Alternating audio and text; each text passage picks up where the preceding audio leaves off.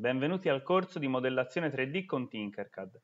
Durante il corso imparerete i principi base della modellazione 3D, come modellare forme complesse e come adattare i vostri modelli per la stampa 3D.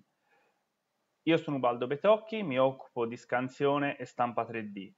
Il corso è suddiviso in quattro sezioni. Alla fine di ogni sezione troverete un esercizio per testare le competenze acquisite. Bene, iniziamo il corso, buon lavoro a tutti.